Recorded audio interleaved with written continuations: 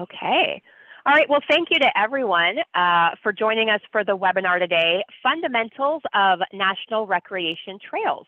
My name is Candace Gallagher, and I am the Director of Operations and Webinar Coordinator for American Trails.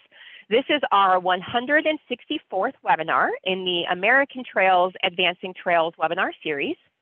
And this uh, free webinar, it's being recorded. It includes real-time closed captioning in English and also offers free learning credits.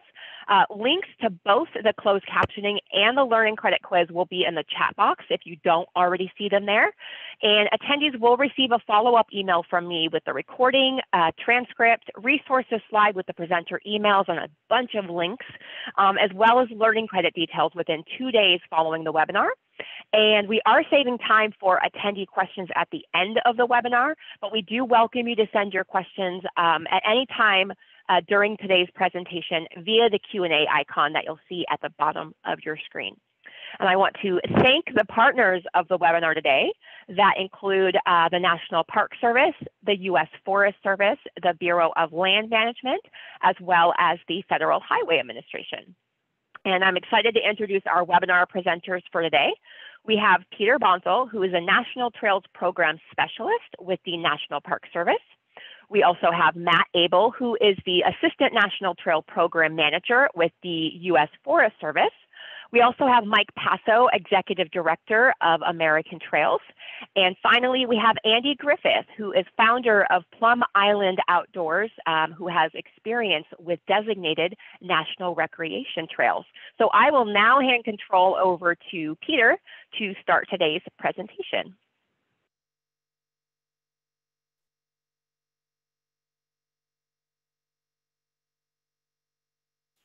Great. Thank you, Candace. Uh, welcome everyone to our presentation today, uh, National Recreation Trails, Preserving and Celebrating Our Nation's Pathways. And to get us started, uh, we'll have Matt talk over a little bit of background. Great, thanks Peter. so yeah, the, what is a National Rec Recreation Trail? Um, back in 1968, the National Trail System Act um, created what we know as national recreation trails. And these have to be existing land or water-based trails. Key there is existing. So you can't propose a, a, proposed trail for an NRT. It has to already be on the ground. Um, but the idea is to provide close to home recreational opportunities on all kinds of land, including federal, state, tribal, and local lands, um, and connect to the national trail system, trail network.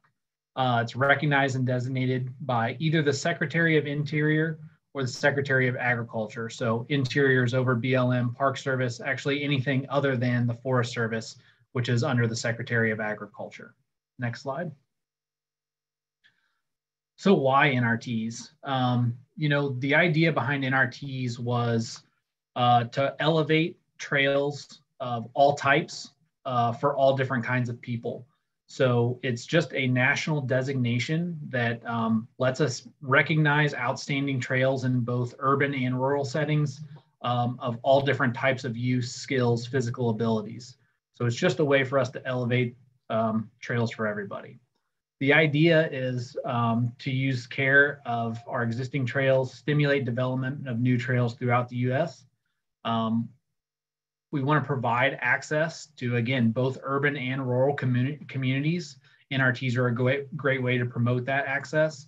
Um, economic development through tourism. NRTs can draw people into rural and uh, local communities and then provide healthy recreation opportunities for the American public. so there's all kinds of different NRTs. Um, we, like I said, cover all different uses uses, uh, including all terrain, uh, all terrains, all settings, um, you know, equestrian, hiking, horseback, um, that's equestrian, ATV, UTV, all sorts of things can be designated, including water trails uh, for NRTs. Um, there's currently 1,300 NRTs or over 1,300s. Uh, we cover all 50 states, including the District of Columbia and Puerto Rico. Um, you can see the list here on the right shows you some of the very first NRTs. The first one was Shakaloe Trail back uh, in 1969 in Missouri.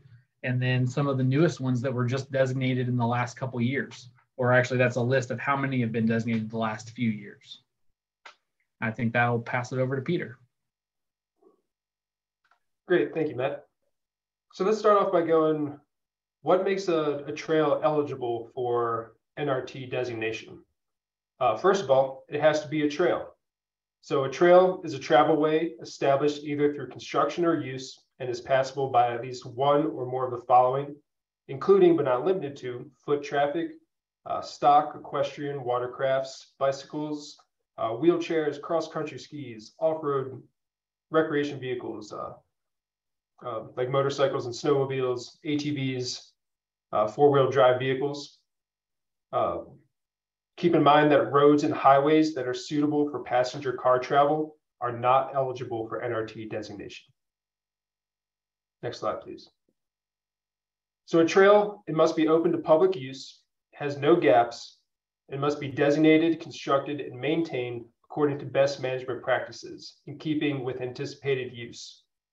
Uh, keep in mind trails that demonstrate these state-of-the-art design and management practices are especially encouraged to apply for NRT designation as they really show these high caliber trails uh, across the country. Next, uh, trail is in compliance with all applicable land use plans and environmental laws. So any uh, NEPA or environmental assessments, um, whatever laws may be applicable on your land, they must be addressed with those. Next slide. Uh, as, Matt, as Matt stated in the beginning, uh, the trail is in existence and will be available for public use for at least 10 years. So again, um, a planned trail is not eligible. Uh, the trail has to be built, again, have no gaps. Um, all public and private property owners of the trail lands or waters have been notified and have given their written consent and support for the designation. And we'll touch a little bit more on this uh, later in the presentation in the frequency as, frequently asked questions. Uh, trails on state, local, local government, or private land, pretty much any lands other than federal government, must have a letter of support from their appropriate traits, state trail administrator. And if anyone's interested on who they may be, uh, you can find uh, the contact information for your state trail administrator on American Trails website. And with that, I'll turn it over to Mike to discuss the benefits of NRT designation. All right, thanks, Peter. So I wanted to start. My name is Mike Passo. I'm the executive director of American Trails, and I'm, I'm we we tend to manage the uh, National Recreational Trails database in partnership with our federal partners. So that's why we're coming in. And I wanted to just take a second to to kind of tell you what I think about the NRTs and why I think they're super valuable. And then we'll go into some of the very kind of more tangible benefits. But to me, you know, we have this great national trail system, one of a kind in the world. Um, it's really well maintained, and the and the diamonds of those are the scenic and historic trails. And I see the the national recreational trails as kind of the more dynamic um, and changing and growing element of the national trail systems. You know, we haven't added a national scenic trail for a long time or a historic trail. You know, it takes a lot to get those in place and they're very super well managed by by organizations but nrts are the are the keys to connecting people to those diamonds and that's the way we look at nrts they they make the connections they they allow diverse use, they allow equitable access to our national trail system by connecting to communities. So that when when we're looking for NRTs out there in the world to be to get this designation, we want them, of course, to have this really great following best management practices, but we also really want them to connect um, and and provide equitable access to trails throughout a community.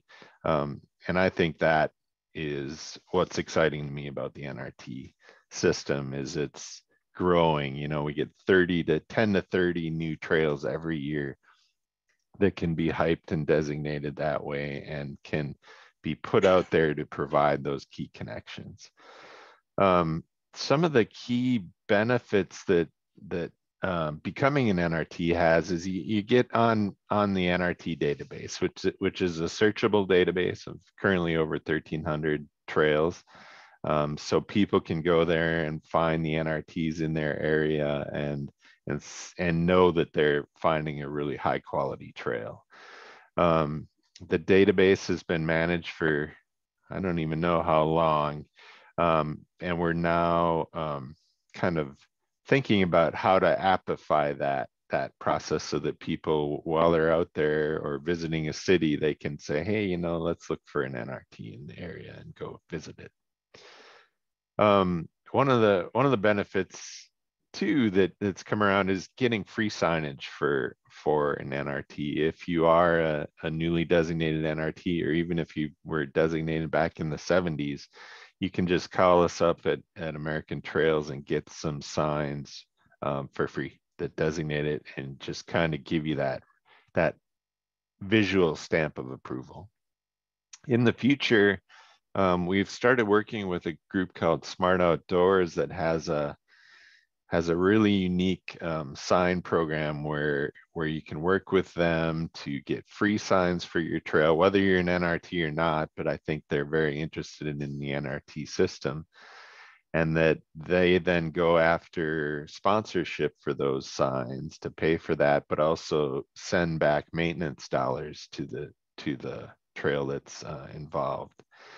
Um, so that's a pretty cool program that's kind of just being fleshed out right now, and and you can keep an eye out for that in in terms of you know a good focus on the NRTs. Um, we we run every year a photo contest, and we encourage you all to send in photos of your local NRTs. It's a great way to spread the spread the word, and we put all those great photos up on our in our database so that people can see what they're getting into when they want to go visit one of your trails. And it's also a great resource. It's it's on it's on American Trails, and you can if you want just really really really pretty trail photos to use in your presentations and things like that. That's that's kind of what it's for. Um, so feel free to download those and give give credit where credit is due, but use them to your heart's content. Um, something relatively new. A few years ago, we started the NRT Ambassador Program, which is over 300 people now, and we have people in every state. And the idea behind them is we have ambassadors in a region that can kind of take on the NRTs and go and to be honest, you know, some of the ones from the 70s and 80s, we don't even know if they still are there. So we need people to go out and check on them and see if if the data that's in the database is correct. And to connect with land managers make sure they understand you know that they have an nrt they have one of these diamonds and they should be spreading the word.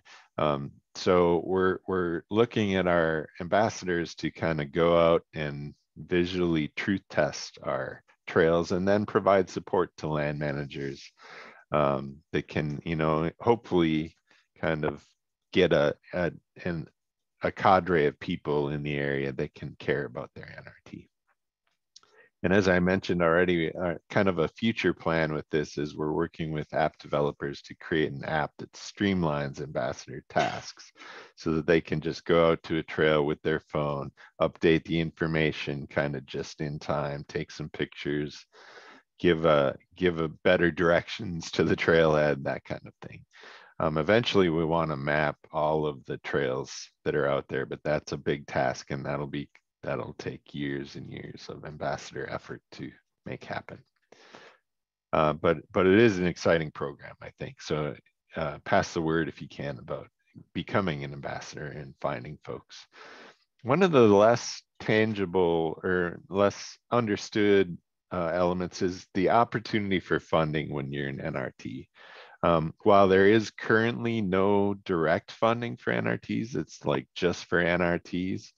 Um, very often in many states, uh, when you apply for a grant for the National Recreational Trails Program, which is funded by the, generally the Department of Transportation in each state and managed by state trail administrators in, in each state, there's often the opportunity to say you're a national recreational trail and that gives you a little bit of a leg up in those funding opportunities for two things. Sometimes it's very obvious, like it'll give you more points in their system, but that's state by state. But also just in your narrative saying you're a national recreation trail kind of gives you that stamp of approval that any funder, you know, a foundation or a state or a federal funder, you know, they'll they'll look to that and be like, oh yeah, that that trail has gone through a rigorous process of of ensuring that they're following good management practices and they're going to be around for a long time. Therefore, I feel safer in providing funding for the needs. Um, and in the future, we we just actually this year American Trails launched the Trail Fund, and we're we'd like to fundraise around the idea of having a designated NRT um, program within the Trail Fund that, that really focuses on providing the maintenance needs of NRTs so that that system as a whole can be more sustainable and more solid moving forward. So we're going to work hard to fundraise around that and keep an eye on the Trail Fund for those opportunities as well. And next, I think I turn it over to Matt.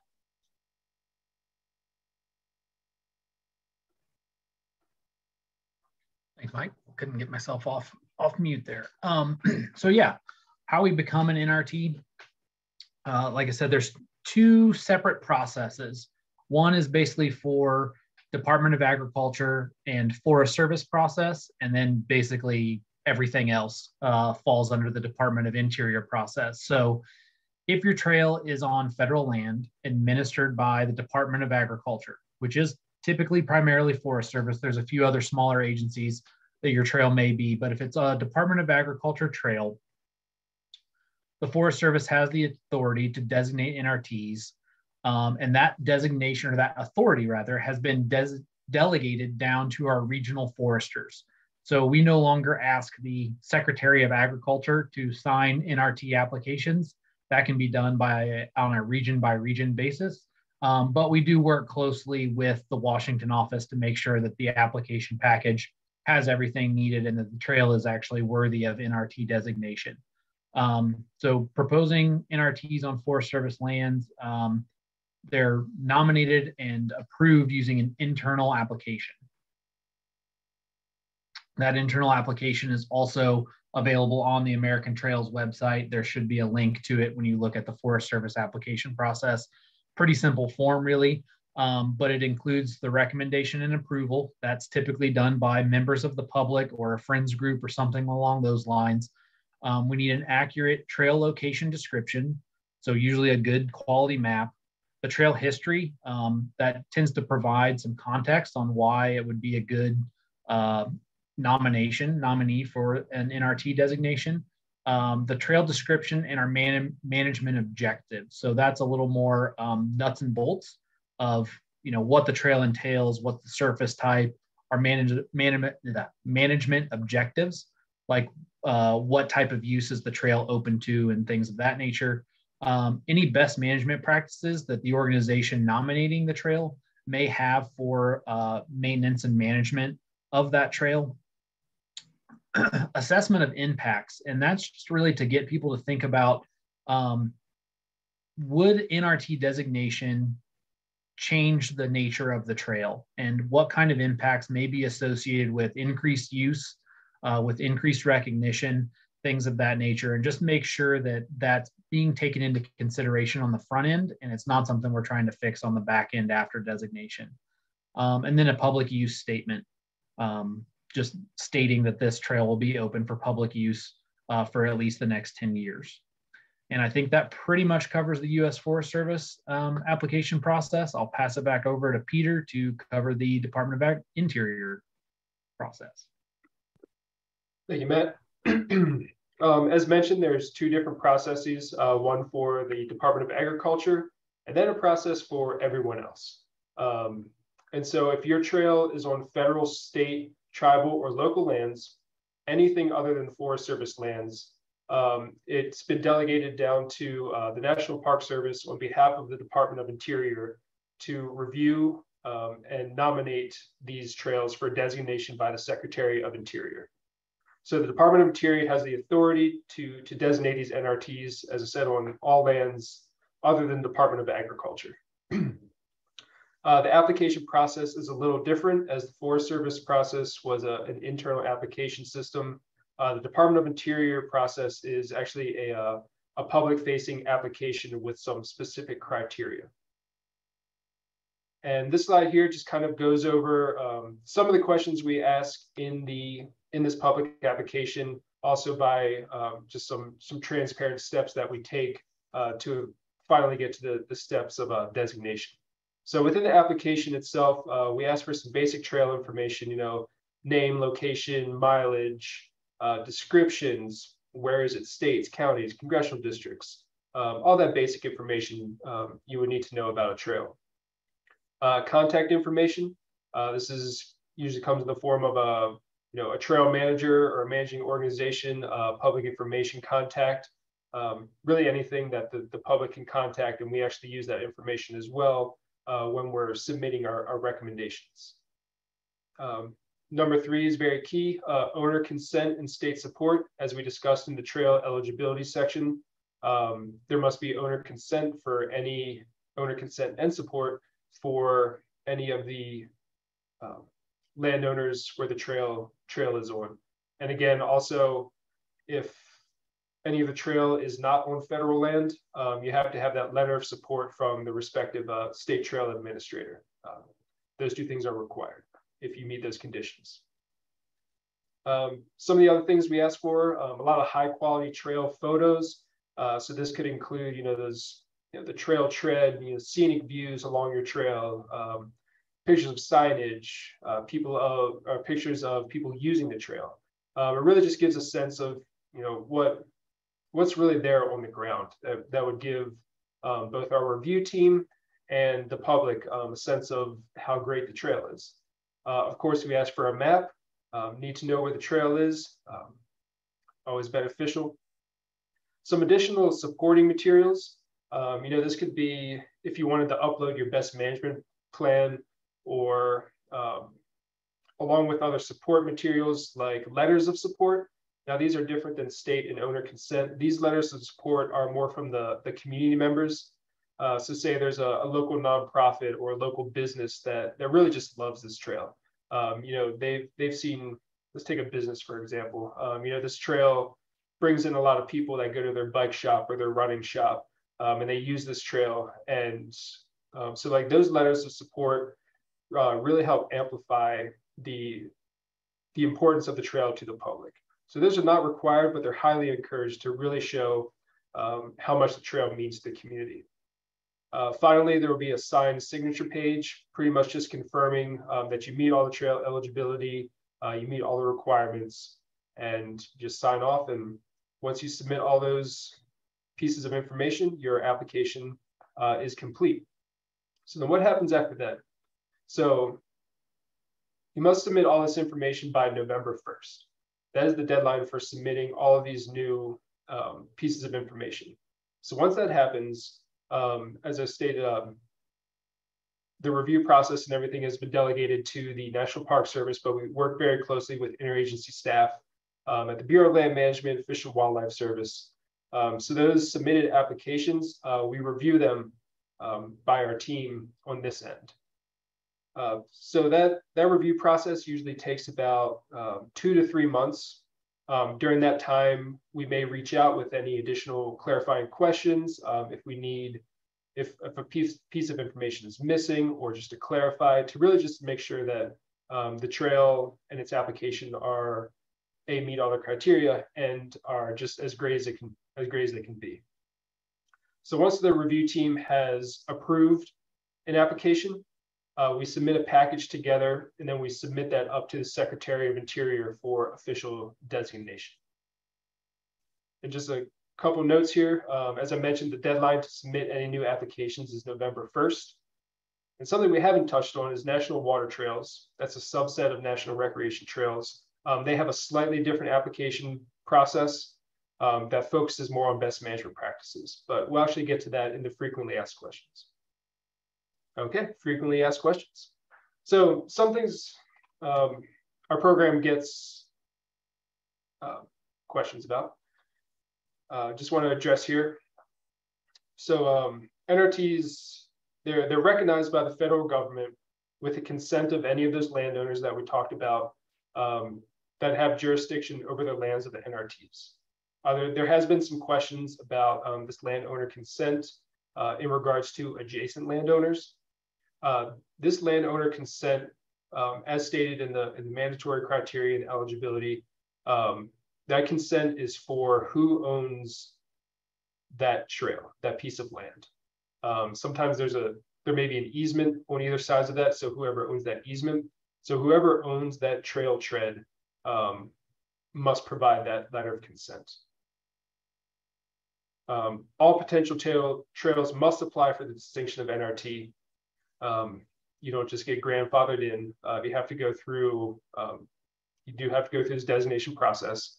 Um, you cannot use the term National Recreation Trail or use the signage unless you're designated.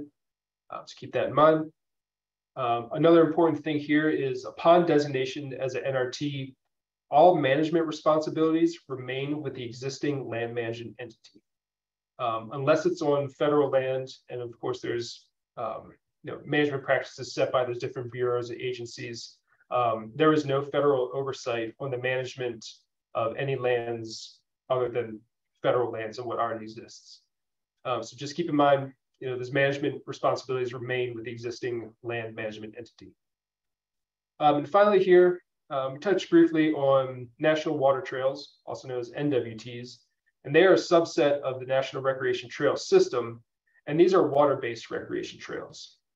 Uh, these were established in uh, 2012 under Secretarial Order 3319 that established that recognized national water trails um, as a legitimate category of national recreation trails.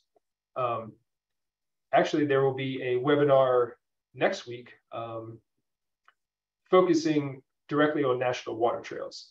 Um, so if this is of interest to you, you know, feel free to ask questions, but there will be a more thorough discussion of national water trails next week with American Trails. Uh, next slide, please. So with all that, um, thank you all for attending um, the first part of our, our webinar here, um, the more federal side and the programmatic side. And with that, we will pass it over to our guest speaker, uh, Andy who will talk about his experience with National Recreation Trails.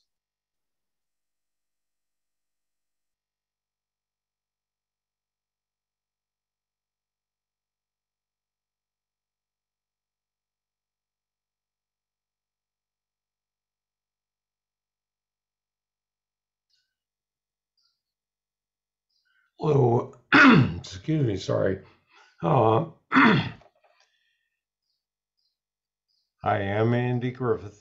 Um, let's see.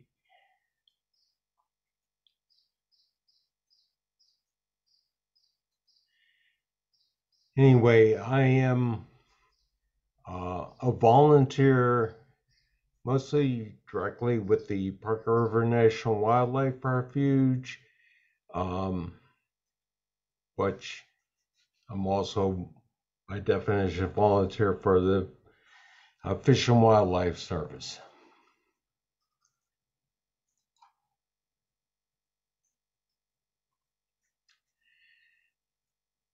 So I've been volunteering at Parker River since 2004. And um, before I moved to Newburyport, uh, I uh, had visited uh, my first spot, which is an NRT. Um, I've been a board member of the Friends of Parker River National Wildlife Refuge. I'm still a member, um, and a lot of my experience I'm bringing to this talk is basically when I was a member, the big issue was how to uh, replace the uh, Hellcat Interpretive Trail, as it was called then, uh, which was uh, built in the 60s. And because it went out over the water, um, you know, over time there became problems and it became unsafe. So there was piecemeal repair going on at the time, but you know, eventually it really needed um, to be replaced and redesigned. Uh, not sure uh, when I be when I became a trail ambassador. I thought that was a special program. Um, and uh, let's see, um, the um, anyway. Let's go to the next slide. Uh, so um, actually, um, in my travels, because I like walking trails, um, I looked on the NRT map, and uh, after a visit Niagara Falls, um, I found an NRT trail, which is the Feeder Canal Towpath Trail in New York, uh, outside of Albany, and it didn't have an ambassador, so I figured why not? I was taking pictures there anyway.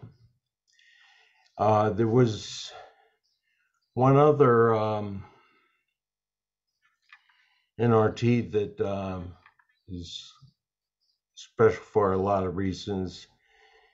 It was called the uh, racial cart in uh, excuse me, it was called the Carson Trail at the uh, Rachel Carson National Wildlife Refuge in Maine. Um, I became ambassador of that. Um, I, for the most part, kept maybe not frequently enough, uh, kept the uh, information on the uh, NRT website up to date.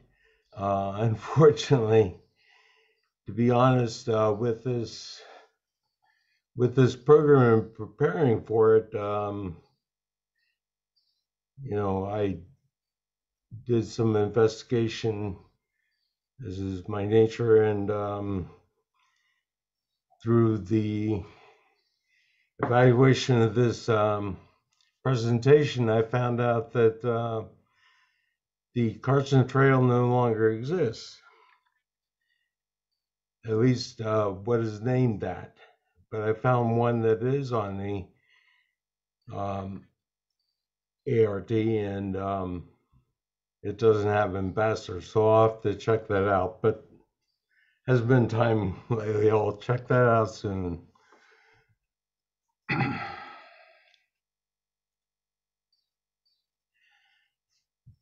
anyway, there's uh, some basic information, um, you know, on the Hellcat Boardwalk Trail. It's not called Boardwalk Trail because it is ART compliant. There are no more, there are not any steps.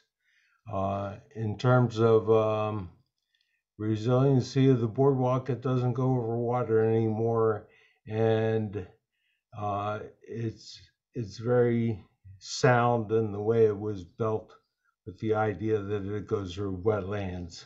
So water is not totally avoidable, but it's it's done in uh, according to present standards, probably even above that.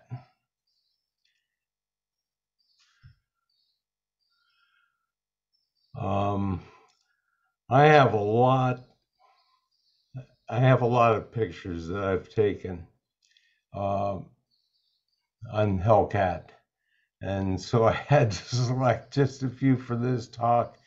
Um, but uh, the nice thing about the winter pictures I found is they were um, uh, uploaded from a visitor uh, that I assume that found out about Hellcat from the NRT database. So I thought that pointed out a big advantage. And by working, I volunteer at the front desk of the or the information desk of the uh, visitor center for Parker River, and we do get a lot of new visitors to the area. We get uh, international visitors uh, relatively recently at the observation platform on Hellcat, I talked with some folks from Iran. They're now in the United States, but I thought that was very interesting. They were talking a language that I could not understand, so I asked them where they were from. anyway, on down below the title, uh, I put up a URL to a YouTube video that the uh, recently retired uh, visitor services manager filmed introducing people to the new trail. So I hope everybody in attendance looks at that. It's it's very good. Uh, and I think uh, let's see the slide of the guy, gentleman on the wheelchair, and that might be Matt. Uh, anyway, but it shows how the it's now ART compliant.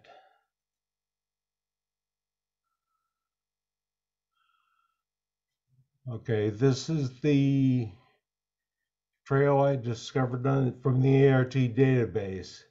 And I was very happy. I walked with my wife, and now I'm the ambassador. Now, unfortunately, I'd have to admit that I haven't been back there since. Um, but also, I think if memory serves me correctly, somebody asked me about why I was the ambassador, but I was kind of hoping that they took it over just because I can't get out there that often. Uh,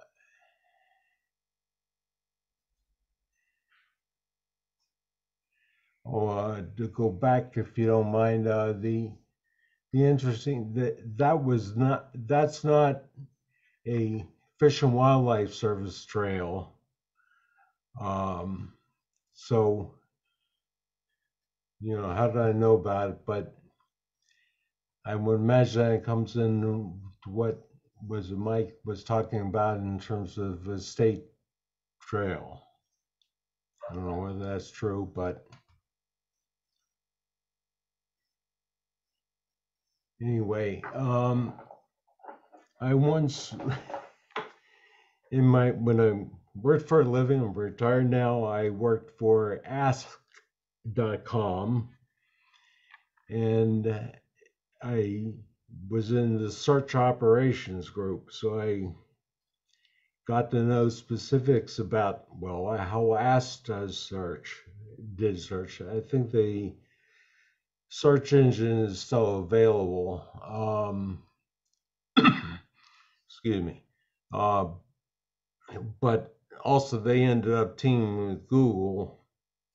And so I thought, why not check and see where Hellcat comes out and it comes and uh, well the URL is you know how how Google determines search order. Ooh, I didn't know that that would work.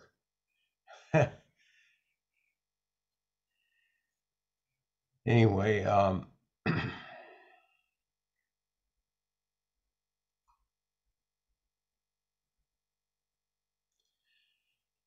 okay, and there we have it, uh, that it came up number one.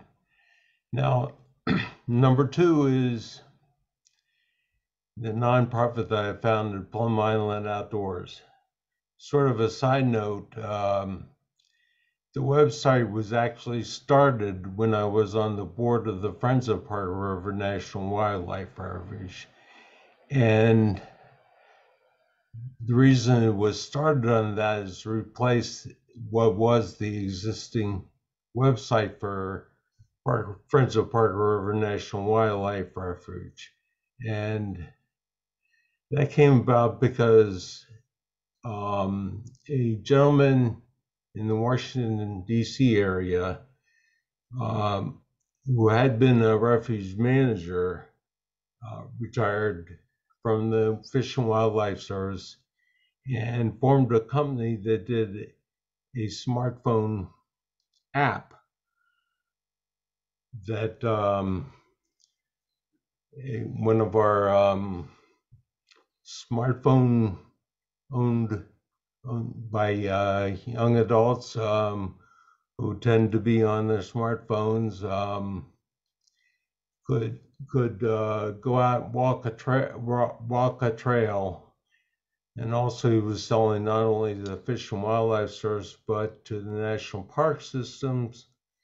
And basically they could play a game answer questions get points through a smartphone and the, the questions pertain to what they observe but the problem was it was very expensive and i couldn't get anybody to prove the money so the uh, refuge manager challenged me to do and something on a website. So I started doing that. That was probably when I came across American Trails. But um, I guess third is sort of a competition.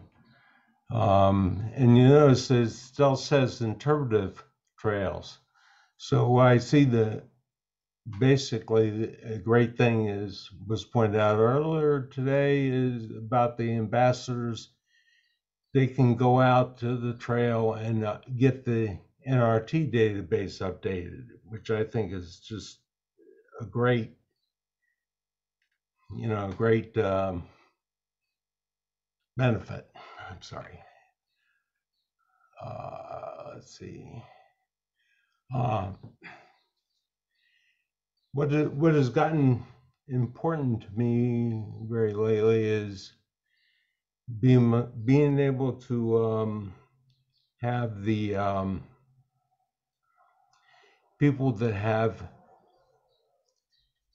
impairment such as wheelchair bound. Um,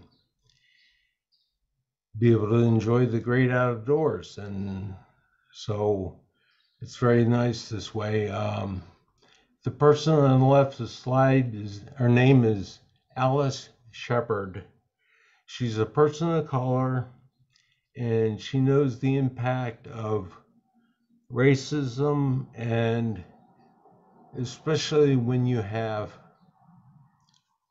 um, a disability.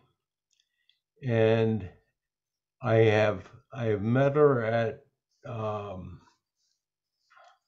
a week-long uh, conference uh, in boston. And she was part of a sub conference, and I got to talk to her personally. I tried to get her to come out, be able to come out to Newburyport and have a talk, but there were various problems. One of one of which is, you know, it's kind of hard. She would have done it over Zoom. Uh, but we see she, she she does phenomenal dancing you know, she considers the wheelchair part of her body and and in just reviewing things for this presentation i found out that there's a video on her website that shows her swinging from trees in the outdoors on the wheelchair i thought that was phenomenal and the uh, the code that you see you can put your smartphone on that and you can go to the website and you can learn all about this phenomenal lady. Uh, anyway. Oh, gee, final slide. Okay. How our host, Candace, got to know me is because um, I was talking with with the I knew I had to talk with the uh, recently retired in the May. I mean the um, manager of visitor services because I feel it's really important to get the water trail as a designated trail. He had a lot to do with it, but I wanted to sort of I wanted to have a conversation with him before he retired and left so I could get this to get um, the management of the refuge to support this project of mine.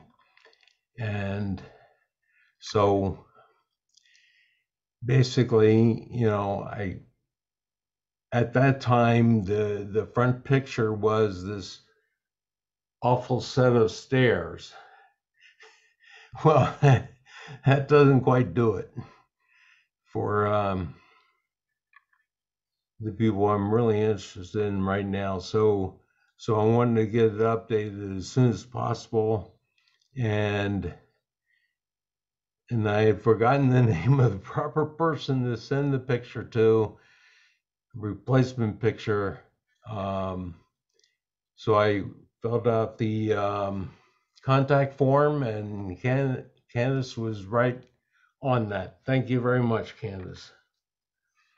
Anyway, um, we have a trail map.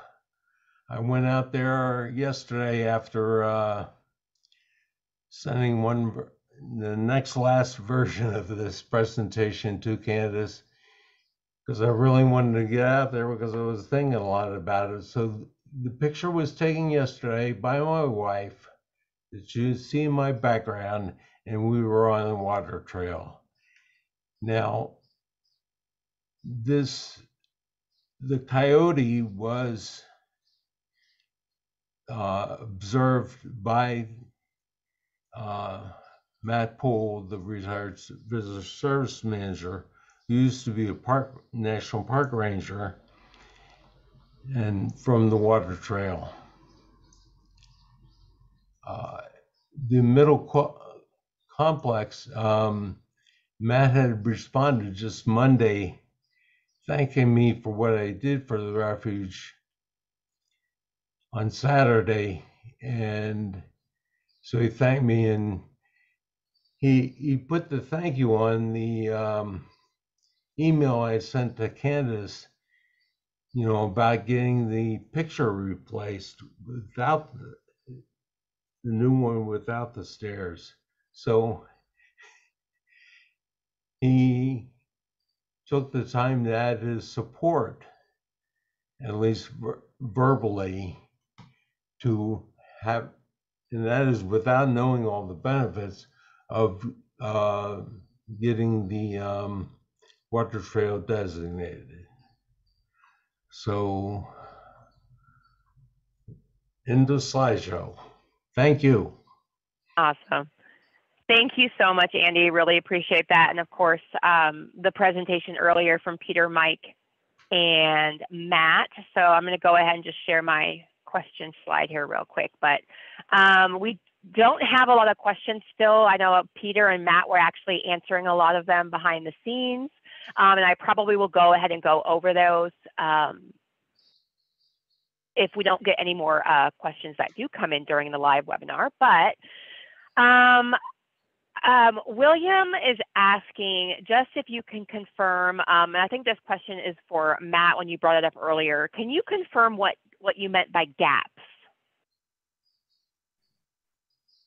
Sure. So the concept being that you know the the trail is complete and without gaps just means that there's not a break in the trail. So you can't designate, let's say, 10 miles of NRT trail, um, and you've got a say a two mile section in the middle that's not constructed yet, or say you've got a, a section that goes through uh, private property and that private property owner does not want to grant permission for that trail or that NRT designation, that would create a gap in the middle. So that's kind of what I was getting at.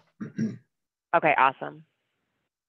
Uh, great. Karen's asking, um, they have a trail that was de designated in 2002 when it wasn't fully built out. Does that designation apply to the entire trail?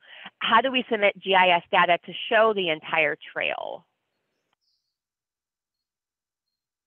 Do we happen to know Probably if that? Peter, yeah. Yeah, I was Oh. thinking so.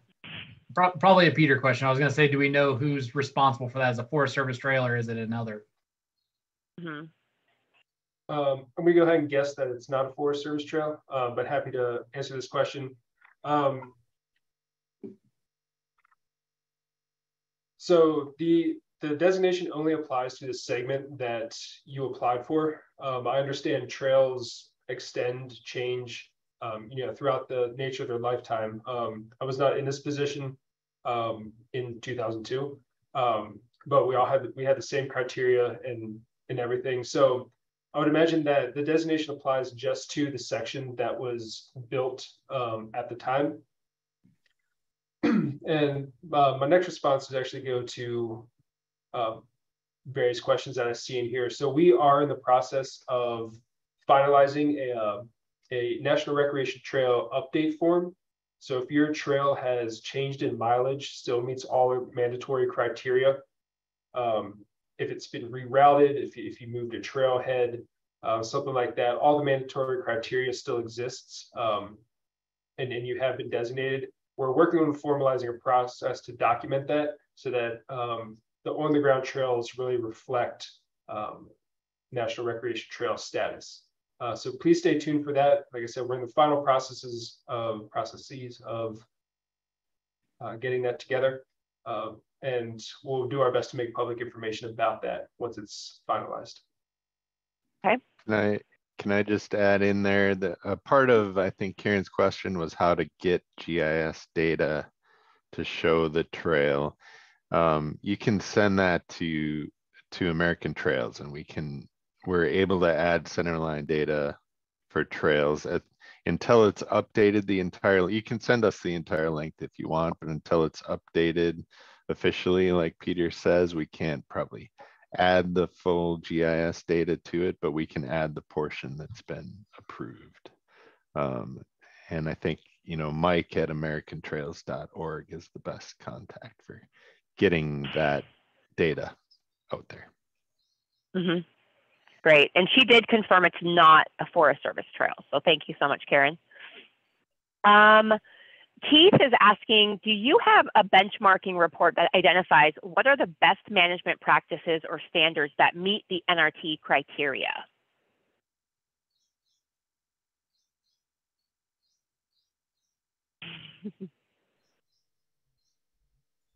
uh, good, Kevin. Good question, Keith. Um, so we we don't have a, a set one in place. Um, it kind of sometimes falls to the reviewers uh, to, and, and they're really um, trail experts. You know, they've been in, in the game for a while with uh, with building trail, reviewing trail plans, making best management practice plans. Um, so a lot of those reviewers look at look at the lens with their expertise. Um, but best management practices, um, I think a lot of those resources could probably be found on um, American Trails website. Uh, they have they have a slew of information about what makes a good best management practice. Um, it's it's really up to, you know, depending on the land. Um, if it's if it's a new trail, if it's being existed, you know, you need to think about all those um, either ADA or ABA uh, trail standards. Excuse me, just ADA trail standards. Um, so, you, so you can look into those for some best management practices. You know, is it is it being maintained? Uh, is it being built to uh, standards? Is it um, you know, does it meet all environmental law and compliance? Um, you know, is there a maintenance plan in place? Are people taking care of it? How is that done? Um, really, those those best management practices are a good lens. Um, and if you're if you're curious for something a little bit more specific, um, it'll take a little research on your end or everyone's end if you're interested. Um, but you can actually look at the the National Water Trails application and they actually have a list of best management practices that that those trails look for.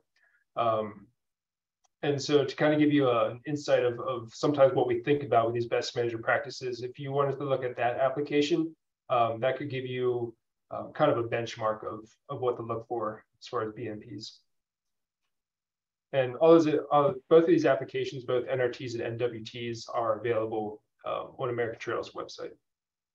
Mm-hmm. Great.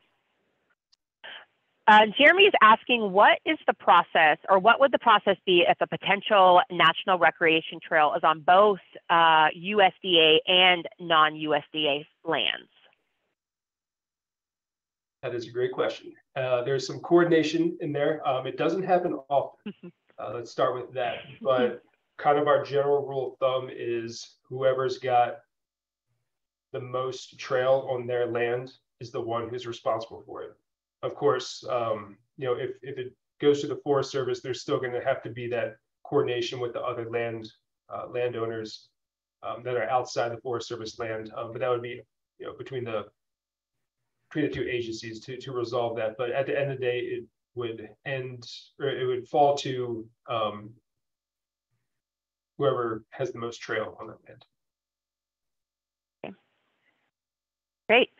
Um, sometimes um, another if that does, oh, if that does occur, um, you know, sometimes one land management agency, other um, just doesn't want to do it. So the NRT would just kind of end end at the boundary of those respective lands. We've we've seen that uh, happen uh, once in my tenure. Mm -hmm. Um, Pete has a question. I'm just glad to hear about the emphasis on NRT ground truthing efforts. Um, he is aware of some older NRTs on Forest Service lands, which are definitely not worthy representatives. Can one of the presenters speak to delisting to the delisting process or processes for an existing substandard NRT?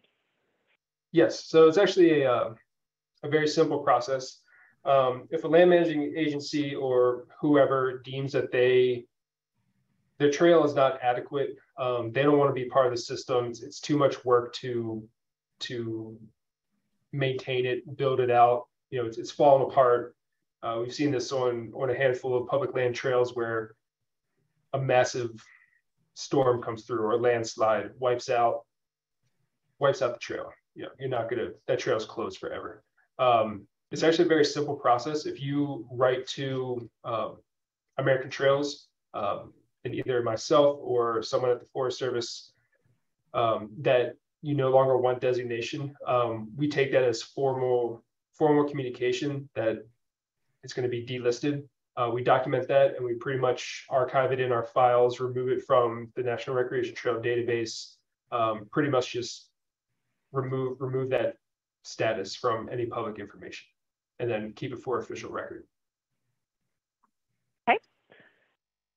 Um, it seems like, I know, Mike, you might already be answering this, this question behind the scenes from Keith about um, if American Trails monitors volunteer contributed uh, GIS data posted in OpenStreetMap.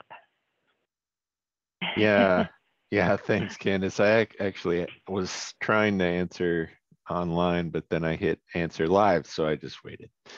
So sorry about that. But great question, Keith. Um, we I'm on, I'm on a working group with OpenStreetMaps right now that's trying to tackle that that specific issue. So we are involved in kind of monitoring it, and we're trying to figure out the process, you know, along with AllTrails and uh, Gaia and the federal land management agencies, trying to figure out how do we deal with user generated trails or non-designated trails when when when a volunteer just posts uh, a trail on OpenStreetMap. So it's a complicated process that's currently being worked through. Um, and it's kind of involving a lot of stakeholders. So I'm sure because of that, it'll take a little bit of time, but it is, it can be a really great source of data and we're we're figuring out how to best interact with that source of data. Um, and I also wanted to just addressing your other issue, Keith, of of developing a reference for best management practices. Um, we we actually are working on that and hoping to have that kind of a part of the application process uh, probably in 2023 moving on. Um, so that's kind of in the works, just as FYI. Great. Um, it looks like the other questions may have been answered. There's one kind of a comment that Harold has um, just in regards to there being over 1,300 trails. Um, you know, just thinking about maybe it's time to connect these together um, of all the national recreation trails. You know, one option is provided um, by the American Discovery Trails concept. Um, and just kind of wondering if you guys have any thoughts. Um, what does American Trails think about this concept? He mentions the current American Discovery Trails routed from Delaware to California, and it uses many of the national recreation trails and other long distance um, bicycle trails.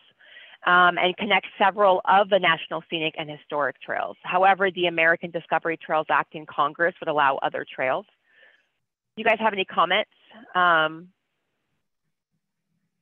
on that? Um, yeah, this is Mike with American Trails. I we love the American Discovery Trail. It's it's got really great. Um, it's really great at at providing some of that connection. We don't have a a, a designated position, I guess, on the on the uh, congressional uh, bill that's that's currently being considered because we don't.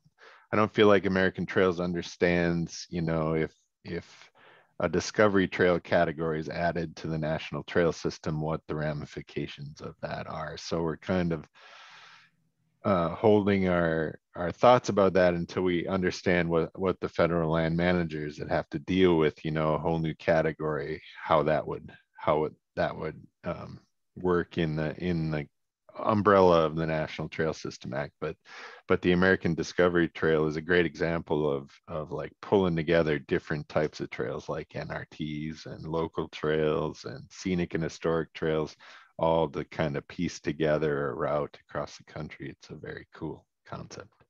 Mm-hmm. Great. Uh, Rena actually has a question. I see that Peter's starting to answer, but just because I know you guys have answered so many of them. How are out of state tourists and travelers encouraged to discover these trails? Uh, as we mentioned, uh, one of the benefits is being added to the National Recreation Trail database. So that lists all the 1,300 plus trails um, across the country publicly available. Uh, you can search that database for anywhere you're going. Um, there's all kind of search functions in there. What, what kind of trail you're looking for? Is it a, a bike trail? Is it equestrian? Um, you can, it, the database has a bunch of different functionalities that you can look for and you can also search by state. Um, you know, it has a geographic display so you can zoom into an area. Um, so that would probably be the best way to discover any NRT, really. Mm -hmm. Right. Um, Natalie up in Canada um, mentions that they don't have an equivalent of the National Recreation Trail, um, of the National Recreation Trails. And at the local level, they are using Trail Forks as a starting point to create a public facing map for the users. Uh, do you have any advice or recommendations for creating a public facing map and or other mapping efforts to best communicate trail information, connectivity, etiquette, et cetera?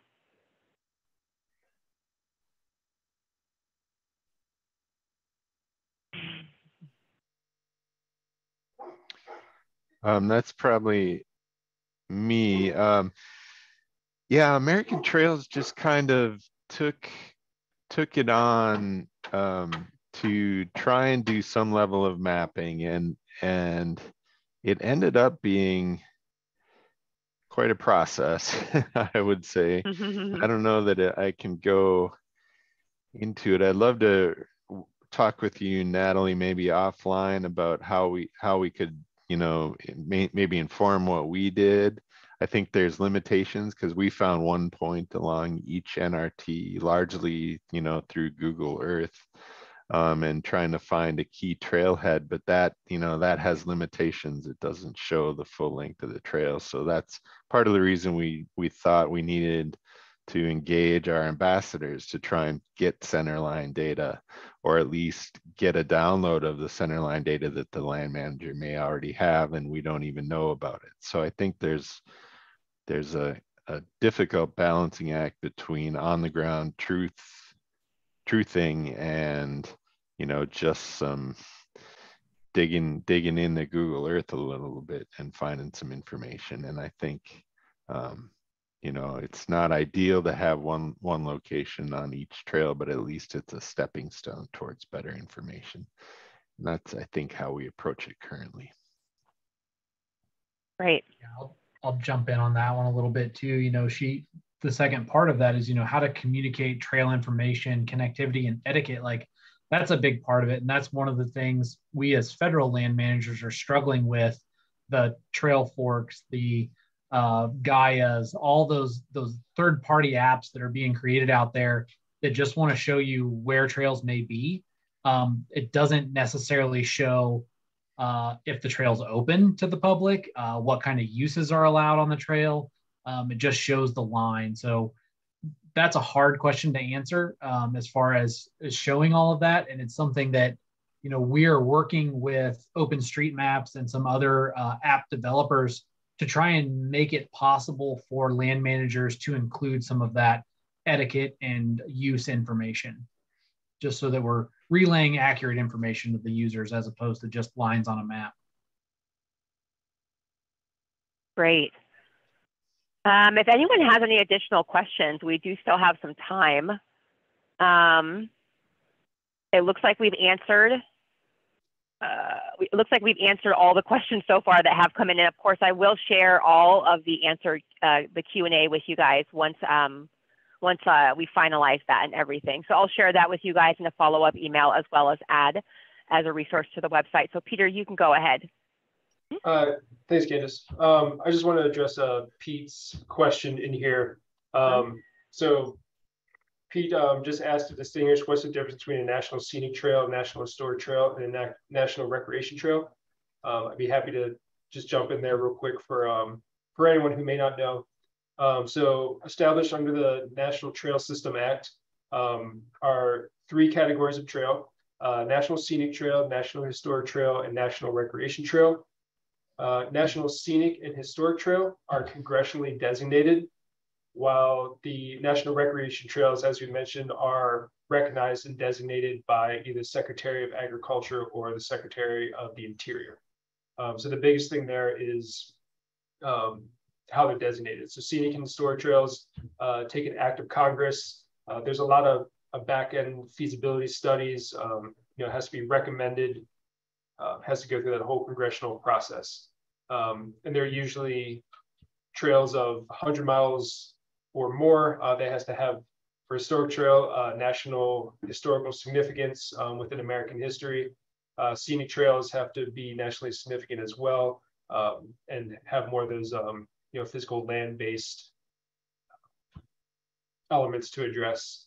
Um, so the you know scenic and historic trails congressionally designated, pretty long process. NRTs um, you know, these were kind of meant to be more more streamlined again, providing that close to home recreation, recognizing the existing trails, um, and those can be recognized by the Secretary of Interior or Agriculture. Great. Stephen has a question. Um, off the top of your head, do we know how long the longest national recreation trail is?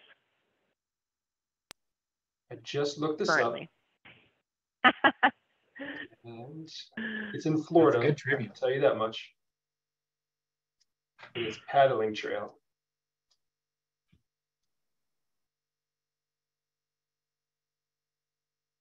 Just as another plug, I'm going right to the NRT database right now. You can find a, uh, Oh. a trail. You can enter how long you would want to find a trail. So longest one on record is 1,500 miles, the Florida Circumnavigational Saltwater Paddling Trail. Mm-hmm. Awesome. And what about the shortest length of a, in order to be recognized as a, or de- designated as a national recreation trail? Uh, there, there is no limit on uh, length. Um, I think I've seen some that are any, anywhere from like a mile, mile and a half, just like a you know a local, local uh, community trail. That's really important. You know, met all the criteria. It's great for the community. Brings people together. Um, you know, it's a, sh- a short. I think it's on like a a nature preserve or something um, within a community. But uh, yeah, no no um, limitation on how long a trail can be. Great.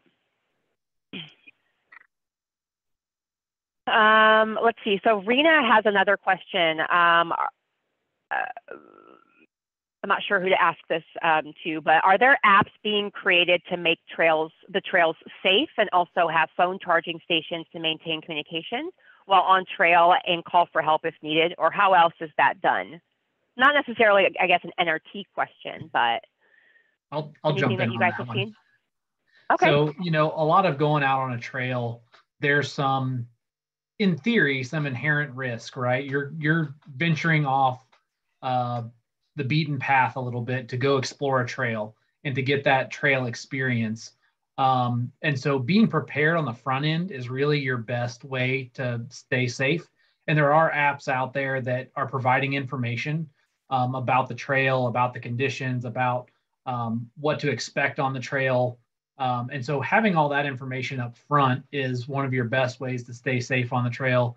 And then as far as charging stations go, you know, I could see some county parks, state parks, uh, or not state parks, but local municipalities possibly having something along those lines. But in in general, most land managers aren't going to be adding that type of infrastructure. But you know, again, speaking to that, being prepared up front, if your phone's fully charged when you hit the trail, uh, hopefully it will last the whole distance. And other options maybe uh, additional battery packs or a little solar charger to keep your phone up and running. Um, but that's not a guarantee either. There's a lot of trails out there that you you give venture out of cert, trail service or cell service. Um, so uh, I wouldn't say rely on your phone. It always pays to do your homework up front and try to get a actual paper map when available so that you've got something to fall back on. Great. Can Steve I, has uh, another great question. Oh yeah, go ahead, Mike.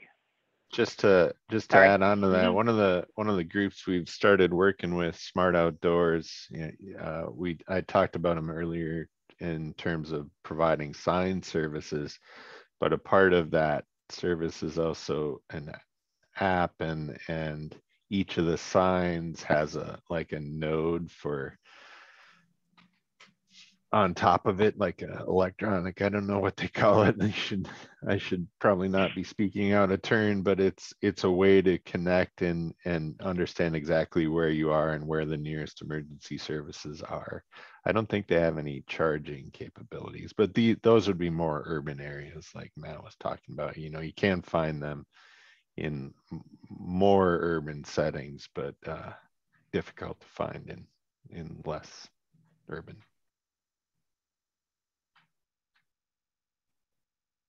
Um, okay, Keith has another great question. Um, if we have considered a trail mentor program for trail managers who have set a goal for attaining NRT or NWT status. Um, yeah, I'd say we've considered it. Um, we have not implemented it and and especially recently it's kind of coming to the fore like how can we you know really there's there isn't i guess functionally there's a bit of a limit to the number of nrts we can do every year but we'd love to see 50 nrts every year rather than 10 and one key way to do that might be you know providing that technical assistance. And I, american trails does it formally but it isn't um, or informally i should say we do it. You can call us. We'll help you through the process we'll answer your questions. We'll tell you you know what you know what your trail needs to do to to have a leg up in in getting the designation. And so will peter actually. I mean it's not a it's not a Mhm. hidden thing. We'll do everything we can to help you out. Um, but we would love to formalize that mentor program and formalize the benefits as well. And that may be something down the road that we're considering. Right. And Mike, wouldn't you say it that best practices um, document for NRTs might also help that without having to yeah have a full-on mentor? Just when that document's ready, you're sort of the guide. right that's a Mhm. good point Right. Um, something also to keep in mind, um, if you're thinking about applying, you can find all the application questions ahead of time. Um, it's certainly not a black box. Um, again, you can find it on American Trails website. Um, so if you are thinking about this, you know, it'll lay out what all the questions are, um, you know, all the mandatory criteria we talked about, you know, all the mandatory documents you're going to need. Um, so if you're, you know, if you're planning to apply November 1st, you know, we're doing this webinar early, um, you know, to give people time, but all Mhm. the information on what we need is transparent out there. Um, so again, if you are thinking about applying, all that information is right there at your fingertips. And again, Mike, Matt, myself, with our respective respective trails, um, are always there to, to answer questions. Great. Uh, well, I think that about sums up the Q and A. Um, I guess just M- M- Matt, you know, Mike and Peter, do you guys or Andy, do you guys have any last thoughts or words that you wanted to share? I just wanted to throw out something that I, I forgot to mention when I was talking about the Forest Service application. So the Department of Interior process is a little more formalized than the Department of Agriculture process is. And we don't have that November 1st deadline. Um, you can really apply any time of year. We do ask that you apply by November 1st if you want to be included in the news releases and the press uh, that comes out right before National Trails Day relating to new NRTs. But our process doesn't have that hard deadline. Good point. Anyone And else? just following, following up on that, like if, if you do apply for, on the Department of Interior side, um, again, that, that review period is not a black box. Um, if we see something, um, you know, you applied, but there's like a little bit more work to do, or you're missing a document or, or something, we will certainly follow up with you, um, on that. It's not, you know, the, the channels of communication are, are there up until, you know, the final applications are approved. And that's usually, uh, the beginning of March. So that gives November through February to, to really work, work with applicants. Um, if there, if there's any changes we would need or additional resources. Okay, great. All right. Well, thank you again to all of the presenters and to all of the attendees interested in this very important topic. Uh, the slide that you see on your screen right now, it will be emailed to everyone. Uh, along with the link to the recording and the transcript and all of their names are, are linked to the presenter emails if you want to follow up. And you can also email us American Trails at NRT at americantrails.org and we'll help answer your question or direct you to the right person to answer uh, to answer your question um, now or later on in the process if you guys are again are interested in um, getting designated as a national recreation trail. So I also um, then want to thank our, our partners again of the webinar, which include all, all of our presenters um, with, with the National Park Service, the U.S. Forest Service, obviously American Trails, the Bureau of Land Management, and uh, the Federal Highway Administration. And if you are enjoying these webinars, um, I just ask you to please consider donating as little as $5 by texting I'm for Trails to 44321. Your donation will go to the Trail Fund, which um, Mike had briefly mentioned um, during his presentation. Um, it's a new grant program American Trail of American Trails that we held our inaugural um, grant process this year. And so the deadline for applications um, for 2022 um, has passed, but we are working hard for more funding um, for 2023 uh, to offer more grants next year. And I will select a couple people who donated immediately following the webinar to receive um, our uh, Trail Boss mug as a thank you. And uh, we hope you'll join us for these upcoming webinars noted on your slide. As Peter mentioned, we do have a webinar specifically on the National Water Trails taking place next week. And as usual, all of our webinars are free and also include free learning credits. So I hope everyone enjoys the rest of your day and happy trails. Thanks again.